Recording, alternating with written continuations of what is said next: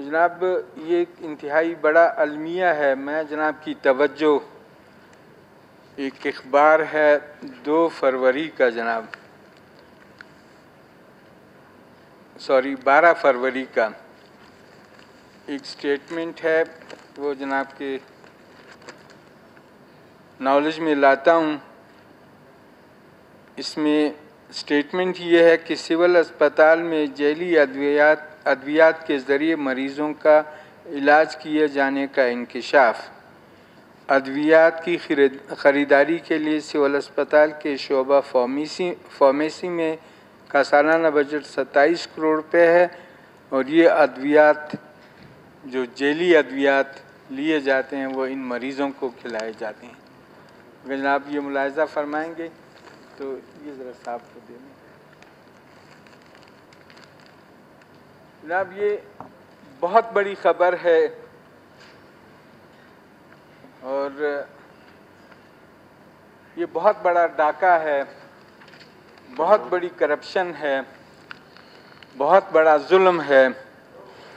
चाहिए तो ये था कि फौरी तौर पे ज़िम्मेदारान को गिरफ़्तार किया जाता, उनके ख़िलाफ़ मुकदमात दर्ज किए जाते, बल्कि उनके ख़िलाफ़ कत्ल के मुकदमात दर्ज होने चाहिए थे, क्योंकि एक करोड़ तेईस लाख आवाम की जान से खेलने का जो अमल है, इससे बढ़कर जुल्म मेरा ख्याल है दुनिया में कहीं भी नहीं है।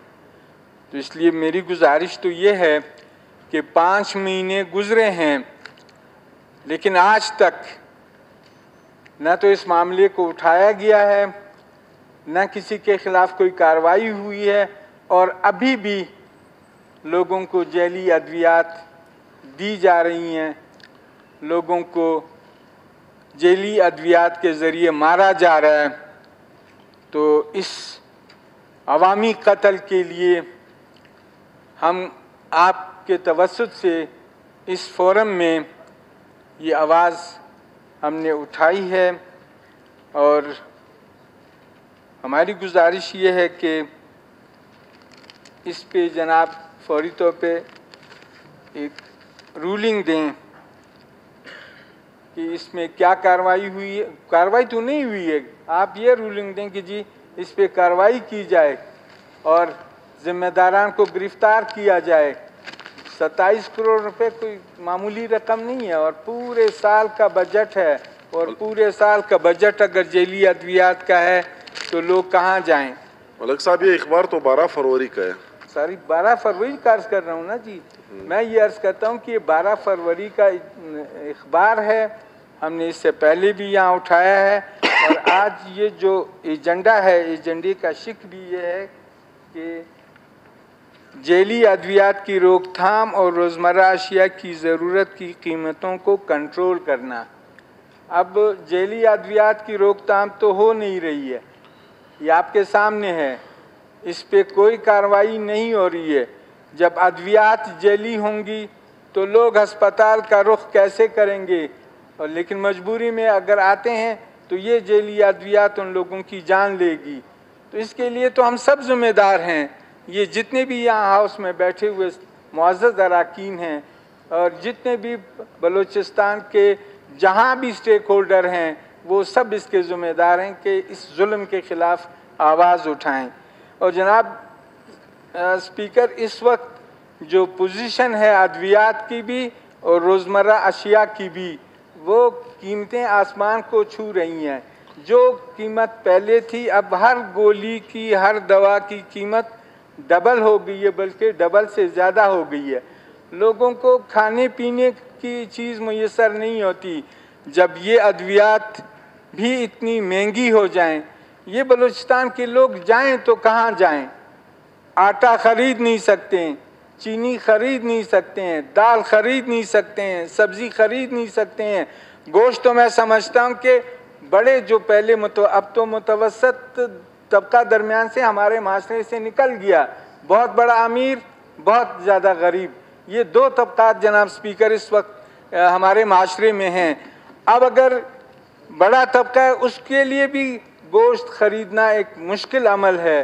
तो छोटा जो गरीब लोग हैं, जो पावर्टी की लाइन से नीचे हैं, वो फिर गोश्त कैसे ख़रीद सकते हैं? वो गोश्त अपने बच्चों को कैसे खिला सकते हैं? तो मेरी गुजारिश ये है कि ये हुकूमत वक्त की ज़िम्मेदारी है कि इस मामले को लें और यहाँ लोगों को ज़िंदगी गुजारने के मौाक़े फराम करें।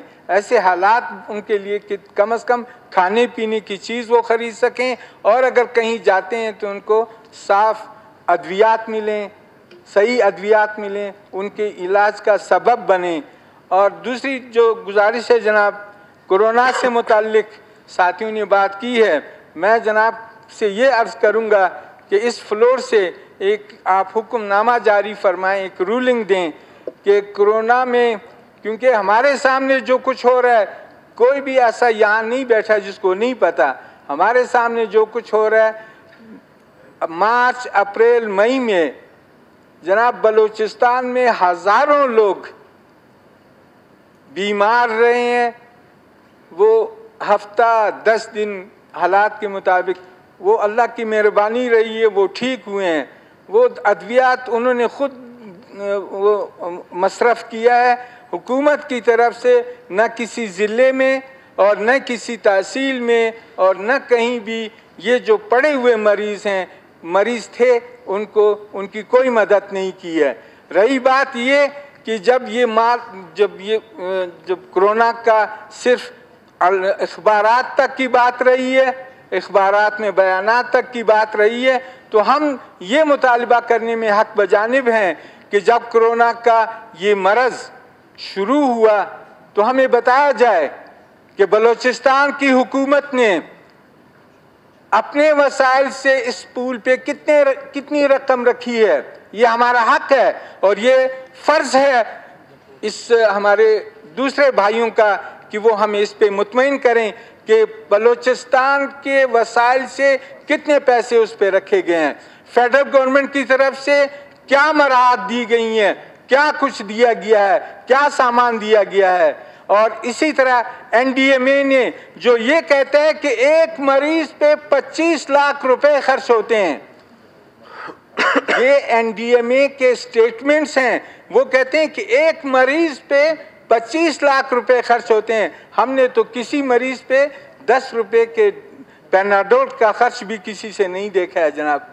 जो लोग हज़ारों की तादाद में बीमार रहे हैं, जो महीनों, हफ्तों और अशरों तक अपने घरों में पड़े रहे और अपने अपना इलाज कराते रहे।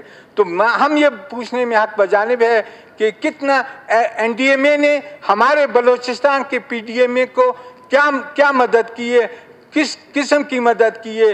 ये रिकॉर्ड पे आ जाए। और जो डोनर एजेंसीज हैं जिन्होंने कोरोना में यहाँ बलूचिस्तान में अपना एक किरदार अदा किया है वो भी बताया जाए कि उनकी तरफ़ से क्या क्या मदद की गई है कितनी की मदद हुई है और फिर ये कैसे खर्च हुआ किस पे खर्च हुआ ये तफसील हम, हमारा हक है। आप नहीं होता तो जनाब आप रूलिंग दे दें कि ये within week within ten days within fifteen days ये जो सारी तफसील है ये हाउस को फराम कर दें।